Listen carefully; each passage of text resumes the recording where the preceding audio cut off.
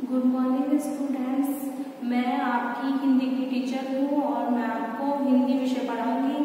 2020 से 21 तक का सत्र हमारा अभी से शुरू हो रहा है और हमारे जो हम हिंदी बुक सेट लाए उसमें हिंदी की अवनी वाली बुक होगी सेकेंड क्लास की, आपको निकालनी है और इस पे नेम लिख के कवर एंट्री कर सकते हैं और आज से हम इसकी पढ़ाई शुरू करते हैं। इसके लिए हमें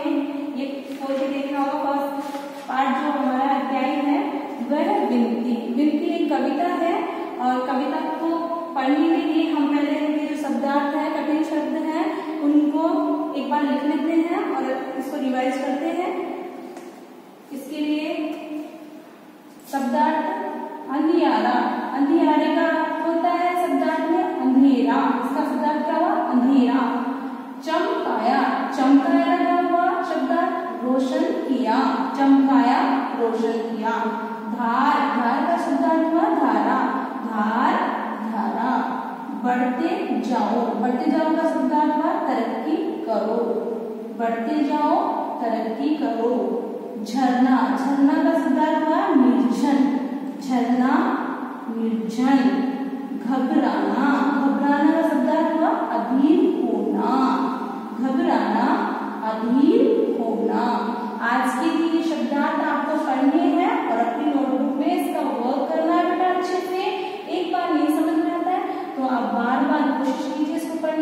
एक बार दो बार आपको अच्छे से समझ में आएगा बेटा।